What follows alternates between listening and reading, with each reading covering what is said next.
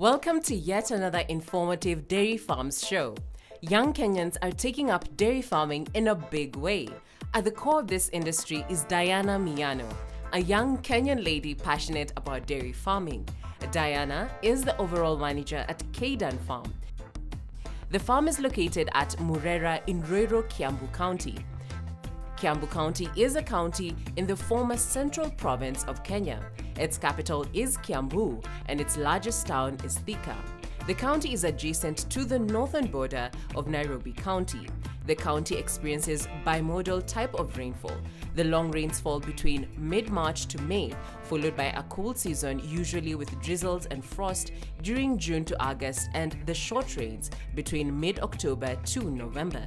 The annual rainfall varies with altitude with higher areas receiving as high as 2,000 millimeters and lower areas of Thika Town constituency receiving as low as 600 millimeters.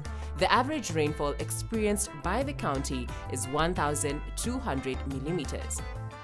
The dairy farm was started in 2018 in October.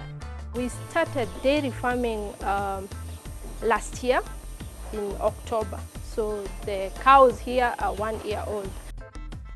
Growing in Nanyuki, where her mom does dairy farming, Diana tells us she was inspired by passion to venture into the dairy industry. My mom is also a dairy farmer, so I grew up uh, loving uh, the cows and all that. So when I was, at some point when I was looking for something else to do, we thought of uh, dairy farming.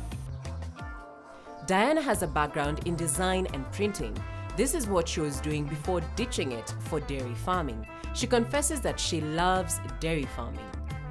Professionally, I did uh, design and printing. That's what I, uh, I've been doing in um, uh, River Road since last year, October, so when we started dairy farming. So uh, as we went by, I got tired and uh, was looking for something that I love doing.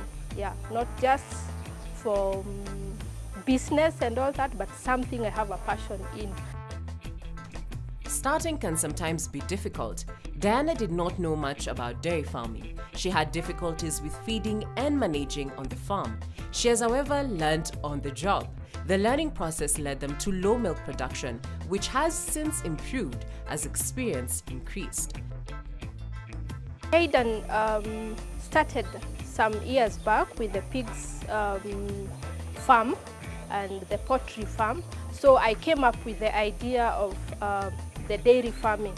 So as new farmers, as new farmers, we didn't uh, know what um, to do in terms of feeding, in terms of um, knowing when the animals are healthy and all that.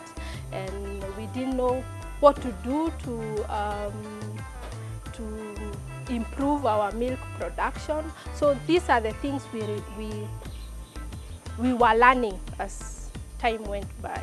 So the learning process meant um, uh, low milk production because we didn't know to do it right. But I can say that we've gained um, uh, knowledge and we are somewhere. Starting with three in-calf heifers, Diana tells us that Kaydan Farm has grown. She now has three Friesian cows and four heifers. One of the heifers is an Ayrshire and the rest being Holstein Friesian. Of the seven animals, seven are in-calf at different stages of pregnancy.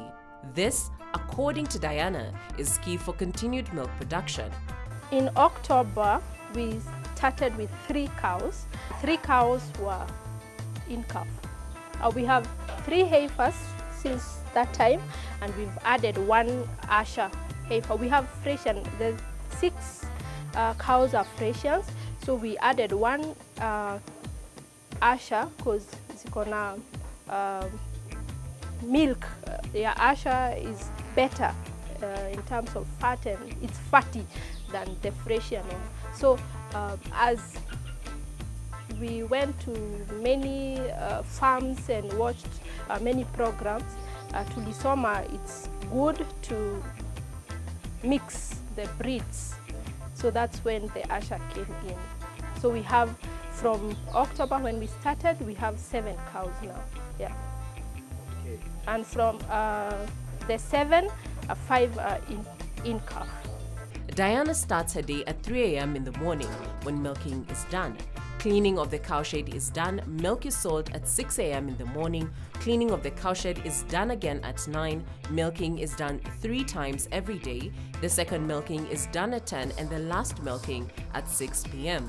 Feeding is then done every day at 11 a.m. and at 6 p.m.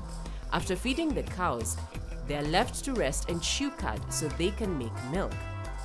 So after six, um, we will clean the cow sheds again uh, before milking. Uh, the next milking, we milk three times, at 3, at 10 and at um, 6 in the evening.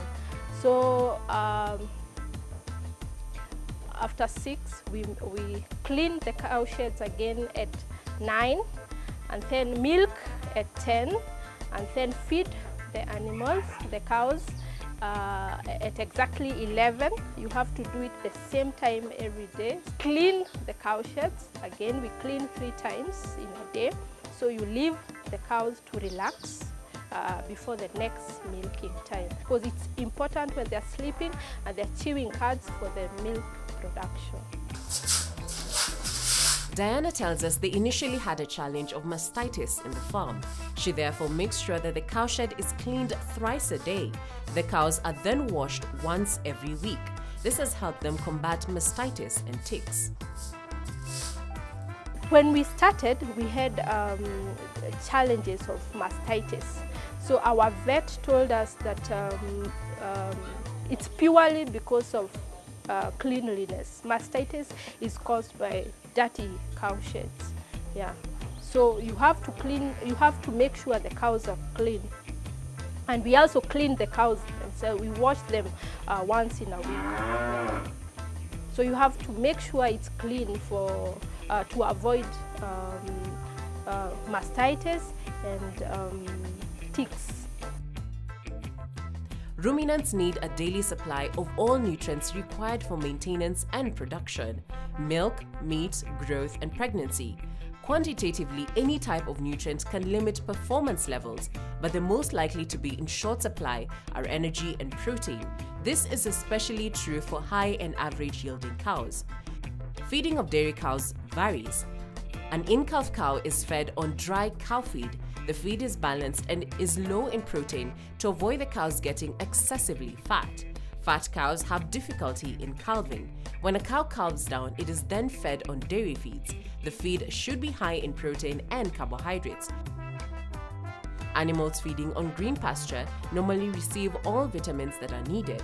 Vitamin supplements are often added to balanced ratios prepared as feed to be used in animals housed and reared in intensive systems. Vitamin A is one of the most important vitamins in animal nutrition. The vitamin is found in carotenoid, pigment of green plants. Vitamins D, E, and K are also present in green plants. The availability of high quality water for ad libitum consumption is critical. Insufficient water intakes leads immediately to reduced feed intake and milk production. Water requirements for dairy cows are related to milk production. Dry matter intake, ratio dry matter concentration, salt or sodium intake, and ambient or environmental temperature. Milking cows are fed thrice a day, that is, after every milking. The calves are then fed on milk for three months before weaning. Hay, calf pellets, and mineral salts are also supplemented. Feeding varies.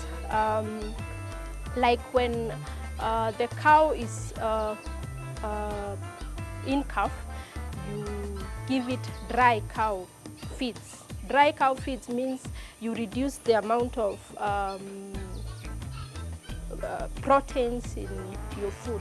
So you balance so that the, the cow won't get so far. Uh, there is danger in fatty cows when they are giving birth. So we give them dry cows. So when it gives birth, we go back to dairy feeds. That's when we, we add uh, more proteins because every milking time a cow loses um, too much uh, calcium. So you have to add um, more proteins in the feeds. Um, we give it three times in. Every milking, after every milking time, it's fed. Uh, those are the milking cows. We start giving milk uh, to the cows at zero to three months. It's purely milk and uh, salt, minerals, and um, hay, just and pellets. Not too much, just a little, but the main thing we feed on it is, uh, on the cows, is milk. So it's um, for three months, and then after three months we start weaning, weaning the um, calves. Once weaned, the calf is also fed on feed rich in mineral salts. The quality and quantity matter as well. This ensures that the heifers grow fast so they can be served. What you feed the cow is very, and the calves is very, very important in the growing of the calves. So, um, and the quality and the quantity matters too. Uh, what we did with the calves is that we fed them good quality, um, everything that a good calf should be fed, and then we added the quantity.